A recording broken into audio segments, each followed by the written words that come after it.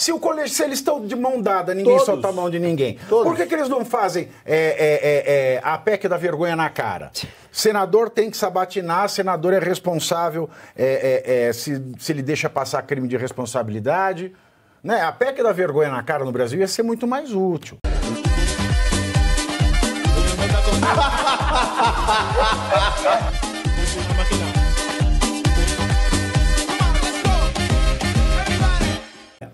Com o fim do primeiro turno das eleições, a Comissão de Constituição e Justiça do Congresso Nacional volta aos trabalhos com o projeto de lei que concede anistia aos presos do 8 de janeiro.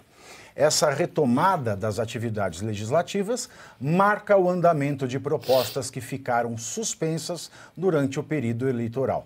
O projeto na CCJ, cujo relator é o deputado Rodrigo Valadares, do União Brasil, também pretende tirar as investigações do gabinete do ministro Alexandre de Moraes no STF.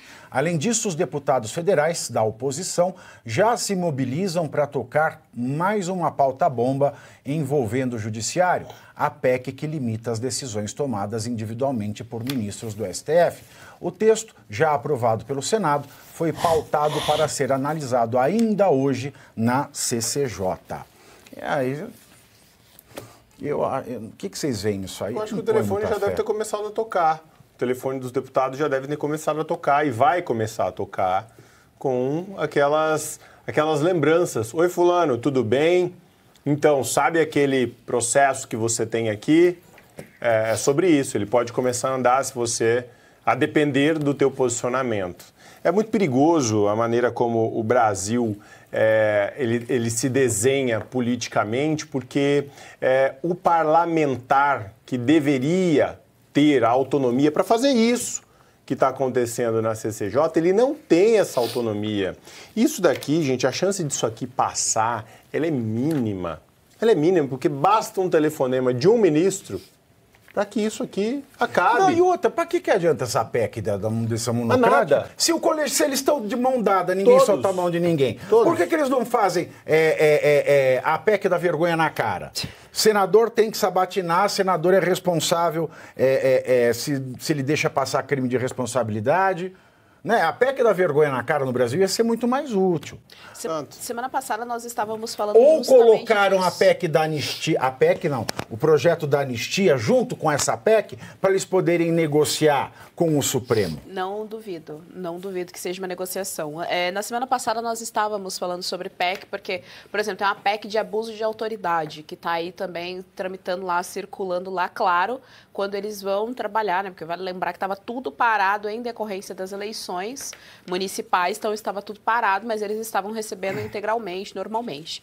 Mas o ponto é, essas PECs geralmente chovem no molhado, ou seja, a gente já sabe que não pode ter abu- abuso de autoridade, a gente já tem isso previsto dentro da nossa Constituição. O mesmo se aplica para esse caso da anistia. Não tem como pessoas sem nenhum poder coerci- coercitivo nas mãos fazer um golpe de Estado. Então não tem nem crime que se configure eh, dessa, dessa perspectiva de golpe de Estado. Você pode falar que teve vandalismo e aí punir de acordo com a ação, porque aí sim você tem a justa pena. É, então eles criam uma série de pedur, pedurinca, pe, eu tô Penduricar, você está fanhosa estou, hoje. Nossa, hoje está terrível. É, e, e, primeiro que isso é para passar para o eleitor essa sensação de que eles estão trabalhando, de que ele não abandonou o eleitorado, de que eles estão fazendo alguma coisa, querendo mostrar Eles um estão correndo serviço. parado. Exato, eles estão correndo parado. Correndo É, sem sair do lugar. Aquela exato, correria para não sair do lugar. é. argumento, Aquela assim, ai, ai, nossa, É, ai, ai, para ai, fingir eu tô fazendo, ai, ai, e não passar para o eleitorado a ideia de que o eleitorado está sozinho, mas na prática o eleitorado está sozinho. E aí a minha pergunta final que eu sempre faço, tudo bem, passou a PEC, passou por todos os processos, a gente conseguiu insti- instituir a PEC dentro da, né, colocar ali esse, esse agregado dentro da nossa Constituição.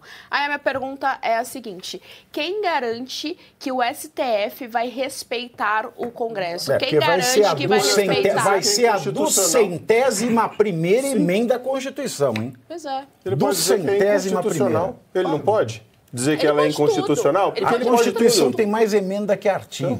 É Então, assim, mudar a- alguma coisa para não tocar na estrutura.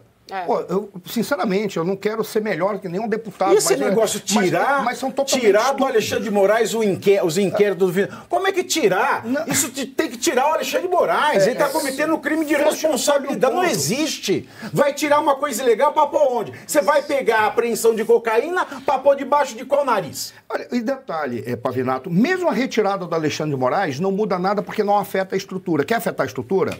Acaba com foro prerrogativo de, é, foro por prerrogativa de funções. O foro privilegiado. Primeira coisa, tem que acabar com essa palhaçada. Segunda, acaba com a função recursal do Supremo Tribunal Federal. Terceiro, acaba com a questão de qualquer partideco insignificante, medíocre, judicializar as decisões que são tomadas no legislativo, porque está atrasando. Uma não decisão do legislativo é uma decisão e deveria ser vinculado única e exclusivamente à Comissão de Constituição e Justiça. Se porventura houver algo que é inconstitucional, é dado o direito, mas com a, o dever do Supremo de apenas dizer assim: não é constitucional. Volta para o legislativo, o legislativo tem que Isso tomar já uma decisão. existe. pois é. Só não é aplicado. Exato. Isso já existe. Mas aí que está o detalhe. Mas as duas pedras que, que mobilizam toda essa porcaria, a primeira delas é o foro por prerrogativa de função.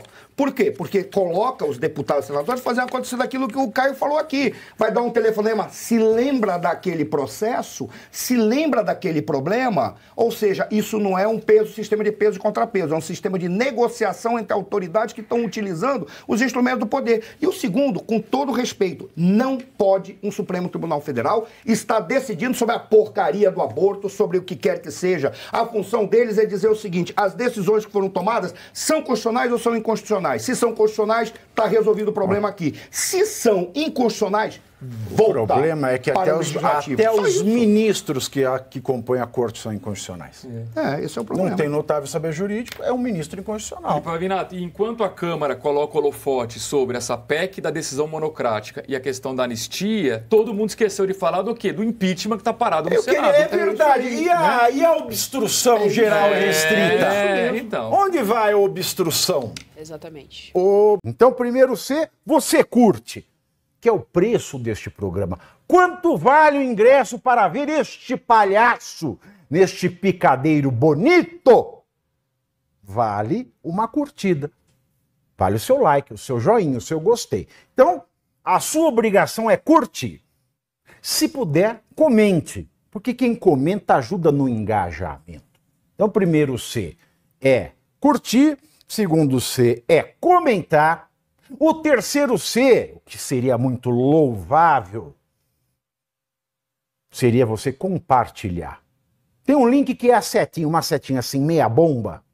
Sabe aquela a, a setinha da pipa do vovô que se esforça? Você vai lá, copia o link, cola no seu Orkut, no seu Facebook, no WhatsApp, no Telegram, manda sinal de fumaça, pombo correio, não é pombo correio do banheiro, é o pombo correio que leva as mensagens. Você passa para todo mundo que você gosta, para quem você não gosta, você também passa. Então, ó, curtiu, comentou, compartilhou.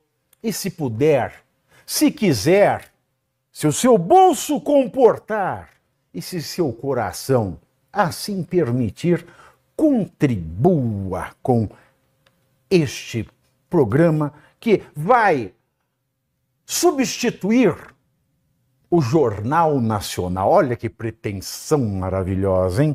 Se liga, ô Bonner, nós vamos derrubar o Jornal Nacional. Esta é a meta.